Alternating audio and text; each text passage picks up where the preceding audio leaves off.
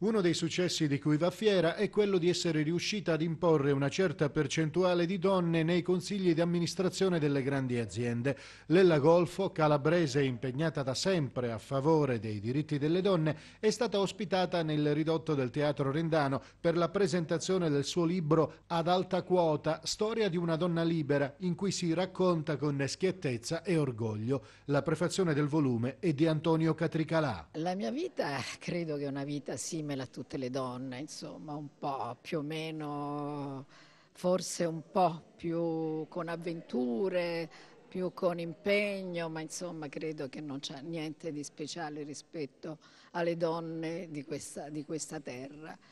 È stata, la mia vita è stata una corsa, questo sì, un impegno continuo, battaglie varie impegno politico, impegno ideale, ma soprattutto con le, con le donne nel cuore. Cioè, le mie prime battaglie sono state nei confronti delle donne raccoglitrici di olive, delle donne che raccoglievano il gelsomino nella, nella zona ionica e là è stata forse la mia presa di coscienza vera nei confronti di queste donne sfruttate allora